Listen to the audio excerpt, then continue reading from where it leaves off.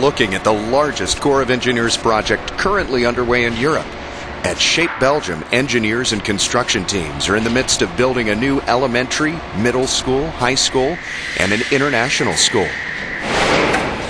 Brick by brick, each building is being designed to meet 21st century learning environment standards, improve efficiency, security, and most importantly to this community, replacing facilities built in the 1960s.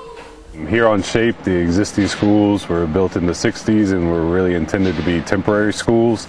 So now they're going to have brand new construction with all new technologies inside. The layout of the campus and the schools will facilitate a greater interaction between children of different nations and ages and promote the ideas behind a 21st century learning concept. We have to implement new technologies uh, throughout the education process. The construction of our new Shape International School, the situation in terms of infrastructure will be much better. And I'm, I'm, I'm very happy with that. Some other 21st century concepts that were important in the design of this massive project were features to reduce impact on the environment, efficient lighting, heating, and a better use of renewable energy and water.